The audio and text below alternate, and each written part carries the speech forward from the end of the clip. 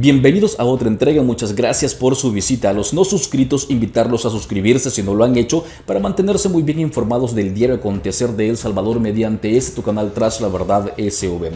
La militancia de Arena y FMLN, así como algunos de sus líderes, han iniciado una campaña contra el presidente de la República asegurando que pretende impulsar una dictadura en nuestro país. Ante esta situación, el presidente Nayib Bukele no se había pronunciado, pero el día de ayer dio una respuesta a estas críticas y sacó los trapos sucios al sol. Veamos su respuesta. Porque nadie puede dudar que estamos trabajando día y noche para llevar alimentación, para curar a la gente, para arreglar los hospitales. Nos dejaron una red de hospitales públicos destruida. Y nadie puede decir que no. Si ustedes mismos hacían los reportajes donde salía la gente viviendo en el suelo, los hospitales cayéndose con hoyos y ventanas. Vayan a verlos ahora, eso no hemos terminado. Vean la diferencia. En dos meses hemos hecho lo que no hicieron en 40 años. Llevo 40 años porque no fue que la guerra los arreglaron tampoco. hemos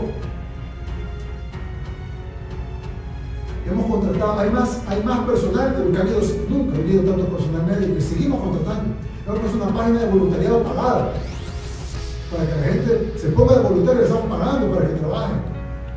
El Salvador tenía 80 unidades de cuidados intensivos, de las cuales funcionaban 30. 30. Solo que en el sistema público, solo para hacer una comparación, Costa Rica tiene 640 unidades de cuidados intensivos. Nosotros tenemos 80, de las cuales funcionaban 30. Ahora estamos ampliando y haciendo la función de 150. Mientras tenemos 5, antes tenemos 1000. Vamos a pasar de 30, 80 nominales a 1000. 12 veces el salto nominal y 33 veces el salto real. Este gobierno trabaja día y noche, 24 horas, sin descanso. Y no me refiero a mí, me refiero todo el pueblo. Para salvaguardar la vida la salud, la alimentación y la seguridad del pueblo salvadoreño. Se dispararon los homicidios, ¿qué hicimos? Reunión, a tomar medidas en los penales, en la policía, con la policía, con la Fuerza Armada, a hacer planes, inteligencia, etc. ¿Qué dijeron? Dictadura, dictadura, qué barbaridad, miren lo que están haciendo. Se movieron con sus contactos internacionales, pagaron para que salieran publicaciones en otros países, para que El Salvador fuera la dictadura. ¿Dictadura por qué?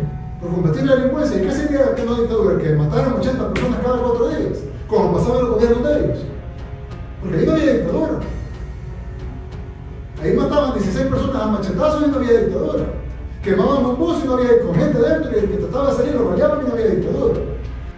Somos el único país del mundo que no está en emergencia. Bueno, decimos que la que estamos nosotros, pero es capaz que la sala mañana sale inconstitucional la declaración de emergencia del, gobierno. Y entonces, ¿qué? No estamos en emergencia porque la sala dice. Por, resolución judicial no hay coronavirus. Por decreto legislativo se acabó la pandemia. A veces me preguntan, ¿por qué El Salvador es un país pobre? ¿Por qué El Salvador es un país de mundo? ¿Por qué El Salvador con gente tan trabajadora que migra a Estados Unidos cruzándose tres fronteras, desierto, la bestia, el tren, la bestia, van allá sin papeles, sin poder hablar el idioma, salen adelante? ¿Por qué con gente tan trabajadora, tan capaz y tan talentosa se la dictadura por esa clase política? Y cuando viene un grupito de gente quiere hacer las cosas diferentes, toda la maquinaria encima a destruir. Y si tratan de defenderse, dictadura. ¿Cuál dictadura? La dictadura no puede hacer nada. Que todos nos lo voten la sala, que todos nos lo voten la asamblea. Eso es dictadura, todo puede ser una dictadura judicial una dictadura parlamentaria, pero no de nosotros. Porque dejar desprotegido al pueblo salvadoreño sin una ley de emergencia, en una, un decreto de emergencia, en una evidente emergencia, no solo nacional, sino que mundial. Ellos están violando el derecho, hablan mucho de derechos humanos, y están violando el derecho humano más sagrado de todo, que es el derecho a la vida y están violando otro de los derechos más sagrados que es el derecho a la salud. Por lo tanto, vamos a poner una demanda, una denuncia ante la Comisión Interamericana de Derechos Humanos eh, por la violación al derecho a la vida y a la salud del pueblo salvadoreño.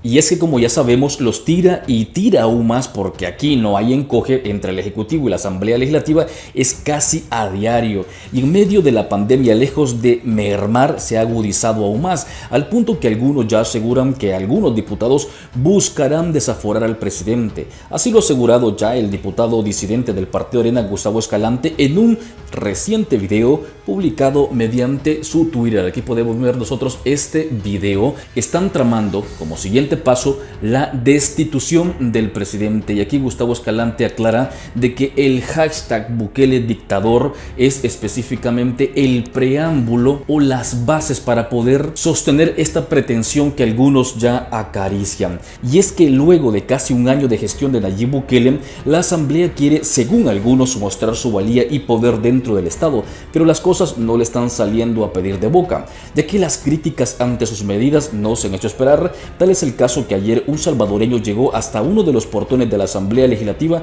y casi les cantó las mañanitas. Video todos los créditos a Radio YSKL. Veamos este contenido. ¡Diputado basura! ¡Son una mierda, hijo de puta! ¡Nos vamos a ver en la calle,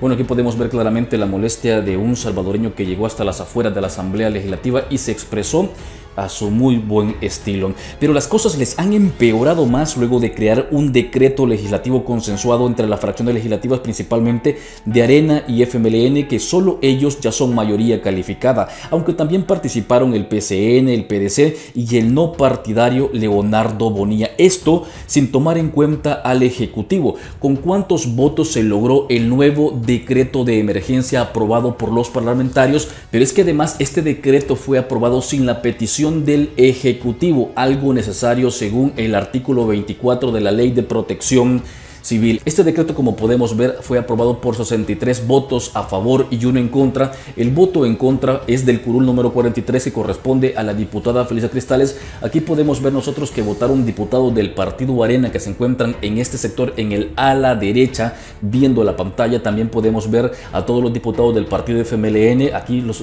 alcanzamos a observar nosotros en el ala izquierda, viendo tu pantalla. Se pueden ver todos los votos desde el curul 76 hasta el 56. Los diputados del partido Gana, que son los del 77 al 84, no asistieron a la plenaria. También podemos ver que algunos diputados del partido PCN decidieron abstenerse. También decidió abstenerse el diputado del CD, Martel. Pues ante este decreto legislativo, las reacciones del gremio médico no se ha hecho esperar y estas son solo algunas de las reacciones. Veamos. Exigimos por este medio a toda la Asamblea Legislativa pongan su mano en la conciencia.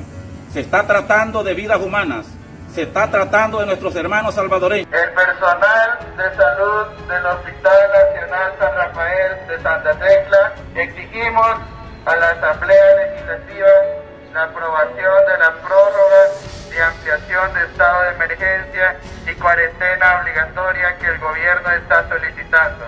Por favor, quédese en casa. Le pedimos a los diputados que tomen decisiones coherentes y congruentes Necesitamos seguir en cuarentena. Amamos al país, amamos al pueblo. Este momento de crisis mundial que afecta a nuestro país, el Ministerio de Salud no se encuentra en la capacidad de poder hacerle frente a esta epidemia, debido a que por años nuestro ministerio fue abandonado y no fue adecuadamente equipado para enfrentar este tipo de crisis. Por tal razón, los trabajadores del Hospital Nacional Psiquiátrico, en nombre del Ministerio de Salud en conjunto, porque todos pertenecemos al Ministerio de Salud a nivel nacional, le solicitamos y le exigimos a los señores diputados que aprueben la ley de emergencia nacional presentada por el gobierno de la República para poder garantizar las herramientas necesarias y poder contener esta pandemia en la cual nos está afectando. De lo contrario, esto va a ser un desborde y va a generar un caos. El Hospital Blum responsabiliza a la Asamblea Legislativa de todos los muertos que puedan venir de ahora en adelante si la pandemia continúa con esta alza.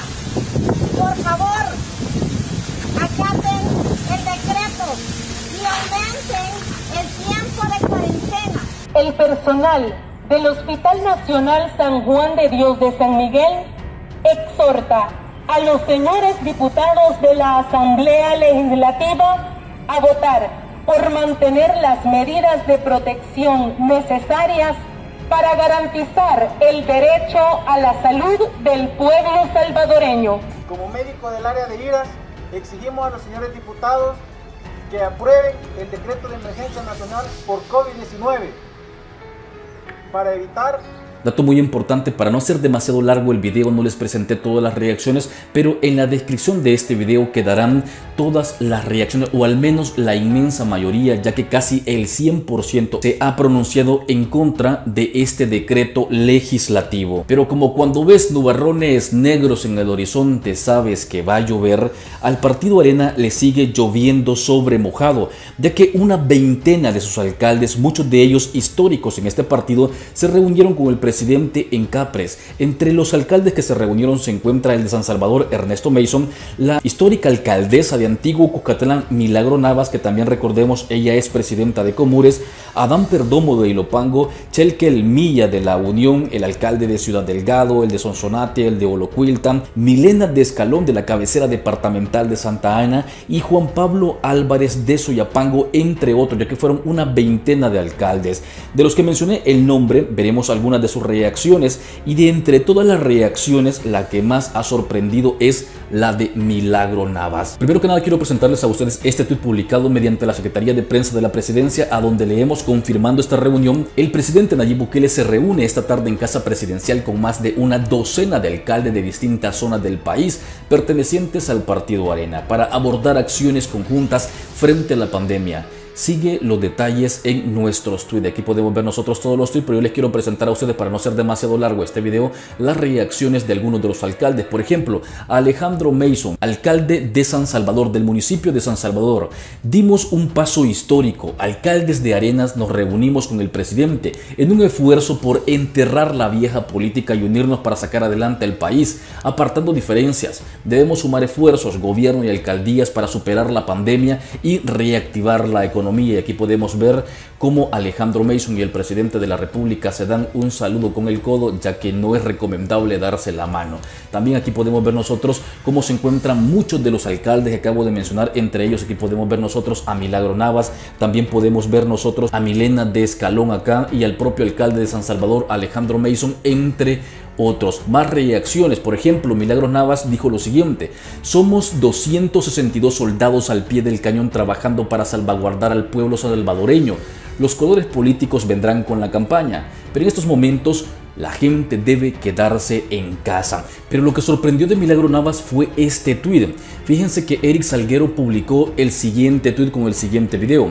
Nuestra representante de alcaldes en el COENA, Milagro Navas, nos brinda informe tras reunión con el presidente de la República y alcalde de la zona metropolitana y cabeceras departamentales. En este punto quiero destacar lo siguiente. El presidente de la República se reunió con los alcaldes más importantes del Partido Arena. Muchos de ellos tienen a su cargo cabeceras departamentales y otros se encuentran en municipios de San Salvador, entre ellos Ilopango, entre ellos Oyapango y el propio San Salvador, municipios que albergan una enorme cantidad de ciudadanos salvadoreños. Como podemos ver, Eric Salguero, después de la reunión de Milagro Navas y otros alcaldes, dijo que esta alcaldesa le estaba brindando al Partido Arena un informe tras la reunión. Ante este tuit que fue compartido por el grupo parlamentario del Partido Arena y por el propio Partido Arena, Milagro Navas le respondió de la siguiente manera, no les informo, les digo que debemos dejar los colores políticos donde corresponden. Ahora quien nos necesita es la gente. Según Milagro Navas, no se encontraba dándole un informe al presidente de este partido, sino que les estaba informando.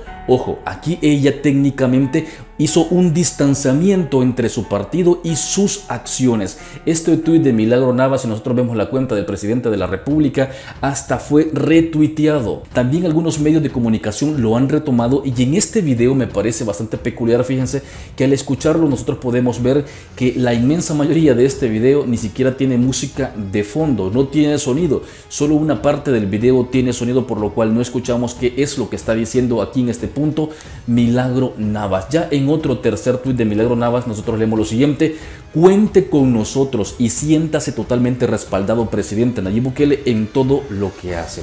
Ya en otras reacciones, fíjense que Chequel Milla, alcalde del municipio de La Unión o cabecera departamental, estamos con usted para acompañarlo en lo que usted nos pida y donde nos diga que estemos. Hay comentarios que usted no está, presidente, pero usted sí está. Está en todos lados liderando el trabajo de sus ministros. En otras reacciones, Chequel Milla dijo, Hoy yo vengo no a quejarme, sino a decirle que estoy con usted. Nunca se ha visto un apoyo como el que usted nos ha dado. Va a tener mi apoyo siempre. Si recibo algún castigo político no me importa. Yo me debo a mi municipio. Pero también saben ustedes quién se reunió. Milena Escalón. Muchos de ustedes sabrán que es una histórica dentro del Partido Arena. Ella dice, en este momento es de dejar las confrontaciones, romper esos esquemas. Esta pandemia ha venido a dar una enseñanza mundial. Dejemos el individualismo y contribuyamos para poder solucionar estos problemas. Aquí podemos ver que también ella se presentó a esta reunión en Capres. Más eh, reacciones, por supuesto que sí. Juan Pablo Álvarez, alcalde del municipio de Soyapango, dijo, trabajando en reunión de alcaldes con autoridades del gobierno central, buscando unir esfuerzos para sacar adelante a nuestra gente en cada municipio. Dios nos dé sabiduría para encontrar consenso y las mejores decisiones. Bendiciones. Siempre dentro de las reacciones del alcalde de Soyapango, mediante la Secretaría de Prensa de la Presidencia se publicó. Como Soyapango tenemos la disponibilidad en un 100% de apoyarle para sacar adelante algo viable para nuestro país, asegura el alcalde de Soyapango, Juan Pablo Álvarez, en un encuentro esta tarde en Casa Presidencial con el presidente. Mientras tanto, Adán Perdomo, alcalde del municipio de Ilopango, comentó, me pongo a disposición del gobierno central para poder trabajar en conjunto y sacar adelante a nuestra gente. Y él mediante su cuenta oficial publica este video que no se los presentaré, como siempre para no hacer demasiado largo este contenido. Fíjense que para sintetizar lo que está pasando en este preciso momento, les presentaré a ustedes un tuit de Giovanni Galeas.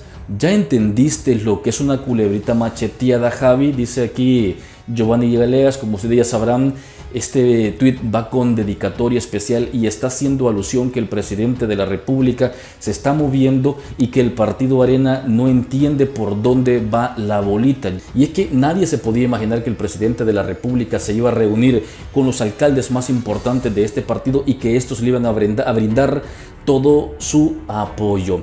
Pues bueno, hasta aquí dejaré la información. Me gustaría saber su opinión sobre todo lo que les he presentado. Recuerden que es importante dejar su comentario y compartir. Pueden compartir este video mediante Twitter, mediante WhatsApp, mediante Instagram, en Facebook, mediante su perfil, mediante grupos y mediante fanpage. También lo pueden compartir por Gmail y aquí también YouTube te da la opción de compartir el like. Como ya les comenté, es muy importante y también dejar su análisis en la caja de comentarios. Y hoy sí, sin más que decir, nos vemos en el siguiente video.